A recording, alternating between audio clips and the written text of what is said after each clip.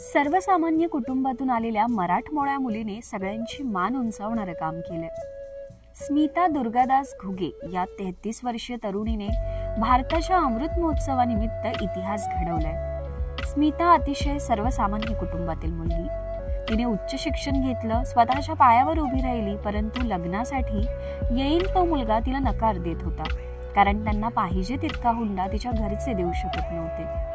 याचा मानसिक त्रास तिला झाला आणि मग पैशांनी नाही तर कर्तृत्वानं मोठं व्हायचं असं तिने ठरवलं. आणि त्या दिशेने पाऊल उचलायला सुरुवात केली. पुण्यातील धनकवडीची ही गिर्यारोहक तरुणी स्मिता घुगे. हिने हुंडा विरोधी नारा देत पंधरा ऑगस्ट रोजी स्वातंत्र्यदिनी रशियातील सर्वोच्च शिखर माउंट एल्ब्रुसवर चढाई करत तीन हजार नऊशे मीटर उंचीवर पंच्याहत्तर फूट तिरंगा फडकवलाय. त्याचबरोबर पाच हजार सहाशे बेचाळीस मीटर उंचीचं हे माउंट एल्ब्रुस शिखर पादाक्रांत करण्यासाठी तिने विक्रम केलाय. ही चित्तथरारक कामगिरी करून स्वातंत्र्यदिनी हे शिखर सर करून आपला वेगळा ठसा उमटवणारी ती पहिली भारतीय तरुणी ठरली आहे नमस्कार.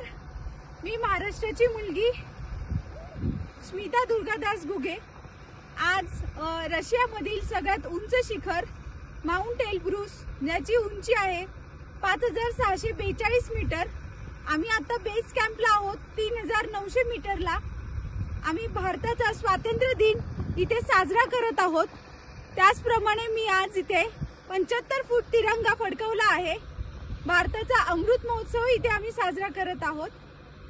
त्याचप्रमाणे सगळ्या महाराष्ट्राच्या आणि भारताच्या सगळ्या माझ्या बंधू भगिनींना या स्वातंत्र्य दिनाच्या खूप खूप शुभेच्छा.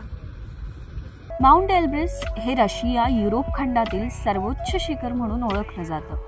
पाच हजार सहाशे बेचाळीस मीटर म्हणजे अठरा हजार पाचशे दहा फूट उंच हे शिखर नेहमीच बर्फाने झाकलेलं असतं. उणे पंचवीस अंश तापमान आणि वादळी वाऱ्यात शिखरावर चढणं आव्हानात्मक होतं. गिर्यारोहक स्मिता घुगे हिने हे आव्हान स्वीकारलं. तीन हजार नऊशे मीटर उंचीवर पोहोचल्यानंतर भारतीय स्वातंत्र्य दिनाचं औचित्य साधत तिने नऊवारी साडीत पंच्याहत्तर फूट उंचीचा भव्य तिरंगा फडकवून नवा विश्वविक्रम रचलाय. तीनशे साठ एक्सप्लोरर या गिर्यारोहण संस्थेच्या आनंद बनसोडे यांच्या मार्गदर्शनाखाली स्मिताने ही कामगिरी केली आहे. गिर्यारोहक स्मिता ही म्हणाली की एल्ब्रुस पर्वतावर चढाई हा तिच्यासाठी आणि संपूर्ण महाराष्ट्रासाठी अभिमानाचा क्षण आहे. अत्यंत प्रतिकूल वातावरणात खडतर चढाई करताना शिवरायांची ज्वलंत प्रेरणा कायमच मनात होती. परिवार आनंद बनसोडे आणि तमाम महाराष्ट्रातील जनतेच्या प्रेरणेने मला हे यश मिळाले. ते मी शिवरायांना अर्पण करते. तिने जो निर्णय घेतलाय तो प्रत्येक मुलीने घ्यावा असं मला वाटतं. कशी होती परिस्थिती तेव्हा तिने निर्णय घेतला घरातलं वातावरण आणि आज आजचं वातावरण? खूप फरक आहे. कसं होतं तेव्हा सगळ्यांनी त्यावेळेला विरोध केला की असं बोलू नका हुंडा दिल्याशिवाय लग्न होणार नाही काही नाही. आणि आता जसं तिचं नाव होत गेले तसं सगळेजण म्हणतात की नाही बरोबर आहे प्रत्येक मुलीने हा निर्णय घेतला पाहिजे कारण ती स्वतःच्या पायावर उभी आहे जॉब करते. त्यासाठी मग तिने हुंडा का द्यायचा. लग्नाचा तर सगळा खर्च मुलीवाले करतात आहे. घर संसार हे ते सगळ्याच गोष्टी देतात आहे लग्न मुलीकडे असतं जेवढा मुलाला शिक्षणाला खर्च येतो तेवढाच मुलीला पण येतो ना. मुलगी ज्या वेळेला म्हणजे जॉब करते पैसा कमवते ते शेवटी मुलाच्याच घरी जाणार आहे आणि आई वडिलांकडे थोडी जाणार आहे. मग याचा सगळ्यांनी विचार करायचा ना. कारण सगळ्यांचीच परिस्थिती नसते हुंडा देणं. काही गरीब कुटुंब आहेत त्यांचे ते किती हाल होतात ते. हं. ते ही प्रथा कुठेतरी बंद झाली पाहिजे. जे रीतिरिवाजाने काही असेल त्या गोष्टी सगळ्या आईवडिलांनी केल्याच पाहिजे. पण तुम्ही इतके ला पाच लाख द्या दहा लाख द्या असा हुंडा मागू नका असं माझं तरी मत.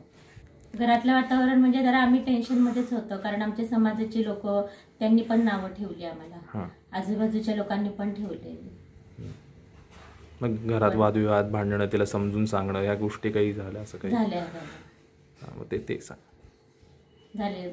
जे सगळ्यांनी समजून सांगितलं तिला की असं चालत नाही पण ती तिच्या निर्णयावर ठाम होती. मग ते तिच्या एवढा खर्च करणार होती ती.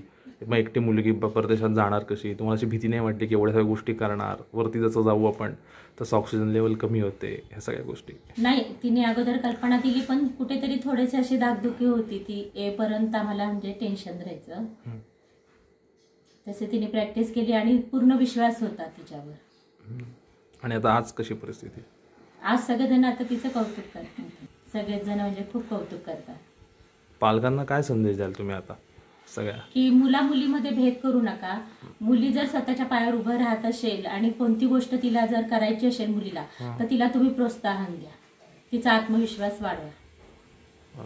तू मुलगी आहे म्हणून तू हे करू नको ते करू नको एकटी जाऊ नको असं करू नका तुम्ही.